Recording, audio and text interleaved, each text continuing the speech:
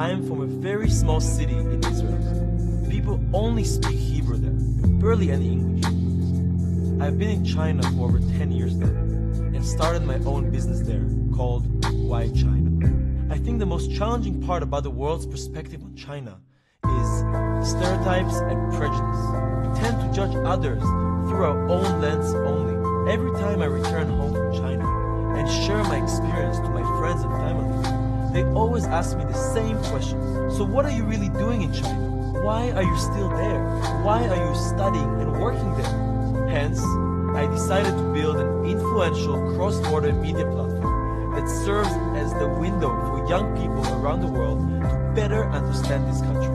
The best window. That's what I do. To keep answering the question, why China? Why Chinese people today are young, cool, fun, and interesting. I will take this strong belief and passion and continue my journey as a media entrepreneur. I will never stop helping more and more people understand why China, why China matters, why young China will impact your future. Pursue this mission and answer to the world why China, why China.